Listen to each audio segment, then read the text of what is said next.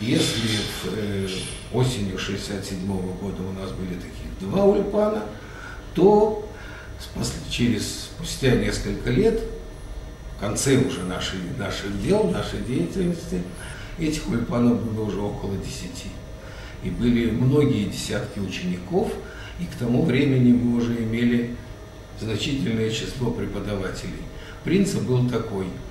Э, немножко знаешь, что-то ты уже можешь есть тебе рассказать, ты начинаешь преподавать. Я бы тут хотел отметить э, очень большую роль в этом деле Владимира Владика Могилевера, ныне покойного. Э, строго говоря, начало этим ульпанам положил Лев Ягман,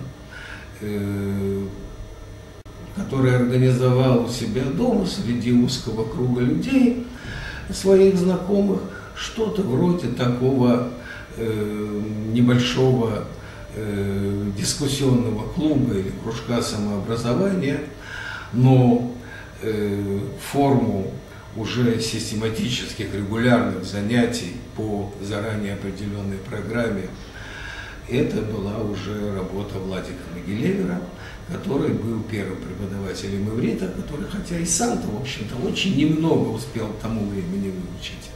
Я преподавал там еврейскую историю, которой интересовался давно и, и достаточно глубоко. Я уже сказал о том, что это была, наверное, оптимальная форма нашей деятельности, но, э, разумеется, мы эту деятельность не афишировали, но, с другой стороны, и э, законспирировать ее было невозможно. Это уже значительный круг людей, которые были посвящены в это. И можно предположить, что в той или иной мере обрывки информации уже доходили до властей. Но, очевидно, власти еще не могли, не вполне сориентировались, как с нами поступить, потому что это было что-то новое для них. Вообще тут следовало бы отметить, что на протяжении всего этого времени власти явно отставали от развития событий. Я имею в виду прежде всего КГБ, а также всякие идеологические э, подразделения коммунистической структуры. Э, они не поспевали за событиями в том смысле, что им нужно было время каким-то образом это понять, осмыслить, принять решение и привести его в исполнение. КГБ, конечно, достаточно было ему дать команду «ату его», спустить этого пса с цепи, и они бы, так сказать, без специальной подготовки бросились бы осуществлять эту акцию. Но нужно было какое-то политическое решение наверху. А там, наверху, они со своими политическими решениями постоянно запаздывали. То ли потому, что вожди были старые, то ли потому, что вообще режим дряхлел с каждым годом. Большую роль сыграло то, что наша партия сумела четко определить основные задачи практической деятельности по укреплению международной безопасности.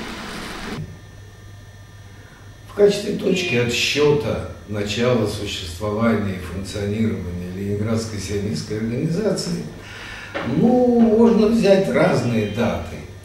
Э, одной из дат может быть, скажем, 64 год, когда существовала уже э, небольшая группа, включавшая Арона Шпильберга, Владика Могилевера, Бена Торбина, меня, еще нескольких сочувствующих. Можно считать и 65 год, когда мы договорились и объединились с другой сионистской группой, в которой были Гилель Бутман, Шлому Дрезнер, Григорий Вертлип. Можно считать этой датой и э, начало 1967 года, когда мы прошли период внутренних, так сказать, э, выяснений взаимоотношений и когда мы уже были готовы перейти к реальным действиям, э, а прошли уже стадию, так сказать, обсуждения, попутно замечу, что на протяжении всего этого времени мы обходились без писанной программы и без устава. Программа была согласована, слове, так сказать, словесно оформлена, и никогда не записывалась, и включала она в себя, в общем-то, два пункта, достаточно простых и достаточно понятных. Одна из них – это э, поиски возможности э, Алии, выезда в Израиль и оказание помощи другим в этом желании. А второй пункт – это было противодействие ассимиляции, развитие интереса к еврейской э, культуре, истории. Э, что касается, значит, всяких там уставных договоренностей, э, была какая-то практика, каким образом мы договаривались между собой, но никакого писанного устава не было и нужды в нем не было. Э, надо сказать, что тогда уже выяснились существенные разногласия между нами э, тактического характера, не принципиального. Принципиальных вопросов у нас не было расхождения, цели наши были те же. Э, а что касается того, каким образом достигать эти цели, вот здесь были разногласия, и разногласия существенные.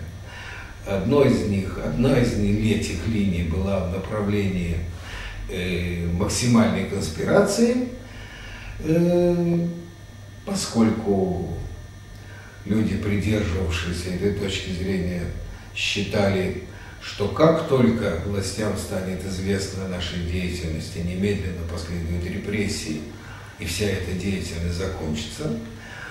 Э, другая, другая точка зрения заключалась в том, что э, мы должны действовать в направлении, в стремлении максимально расширить круг участников движения и э, еще больше круг интересующихся еврейской тематикой и интересует пробудить интерес к Израилю. А это было неминуемо действие деконспиративное. Впрочем, я уже об этом говорил. Иногда мне приходилось слышать уже постфактум, более поздние годы, что э, а зачем вообще было создавать организацию, и зачем вообще нужны были даже эти ограниченные элементы конспирации. Э, я думаю, что ответ должен быть примерно такой – в то время, когда мы начинали, мы начинали на совершенно пустом месте, не было э, никакой э, базы, не было никакой инфраструктуры, не было никаких материальных средств, не было никаких э, средств э, для разъяснительной работы и пропаганды. Значит, для того, чтобы это создать, было, не, была необходимость сконцентрировать усилия и те небольшие возможности, которые были у каждого из нас. В более позднее время обычно э, критики этой идеи как раз принадлежат другой генерации, более поздней, когда же существовала широкая инфраструктура, была большая база, когда число людей, интересующихся Израилем и еврейской тематикой, исчислялось сотнями и тысячами. Мы же начинали на э, пустом месте практически, в Ленинграде. Немножко лучше было положение в Риге. Но тоже я бы не сказал, что там существовала такая большая и широкая база. Надо сказать, что в дальнейшем э, время активной деятельности организа... Ленинградской организации это, в общем-то, три года, 67 по 70 год не такой уже большой отрезок времени, но э, весьма бурный и результативный. Э, если говорить о численности, то с нескольких человек мы выросли до 40 и больше. Если говорить о э, возможностях самоиздата, то вначале это было несколько экземпляров на одной пишущей машинке, а в конце это уже были многие сотни экземпляров самоиздата, которые постоянно циркулировали. Если говорить об ульпанах, то вначале это был один ульпан, два. В конце это было уже около 10, 10, может быть, даже и больше. Если говорить о связи с другими городами, то начинали мы с того, что не было у нас никаких контактов, кроме Ленинграда, а в дальнейшем мы установили связи э, с Ригой и с Москвой, опосредованно и с э, Киевом, э, Грузией, Вильнюсом, Харьковом, Одессой и так далее. Э, и это уже был э, круг общения, о котором можно говорить как о сформировавшемся движении. То есть не отдельные группы, не отдельные активисты там и сям, а э, широкая, я бы сказал, сеть, которая покрывала большую часть Советского Союза. И при том, что существовали разные точки зрения, э, были иногда и столкновения мнений и личностей, но это уже была среда.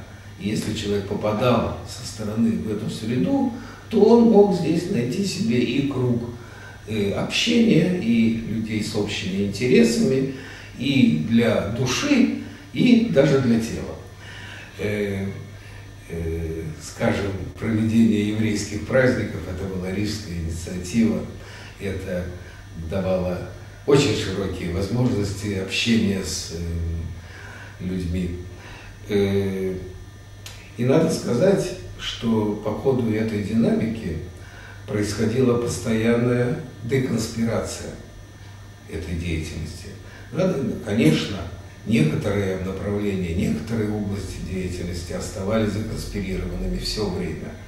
Я бы сказал, что и в последующие годы, в 70-е, 80-е, годы, о которых я знаю понаслышке, в то время, когда, казалось бы, деятельность эта носила еврейская открытый характер, тем не менее, некоторые вопросы изготовления пути канала распространения самоиздата оставались законспирированными или, по крайней мере, не, не, не рекламируемыми. Источники э, Э, материальные, денежные, э, некоторые контакты и связи взаимные между людьми далеко не всегда, то есть никогда, как правило, не спешили их рекламировать связи, э, каналы связи за границей. Так что полностью полной деконспирации никогда не было.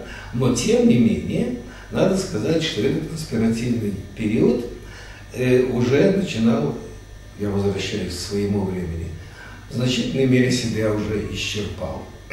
И решительный поворот произошел, я думаю, можно говорить о 69 годе.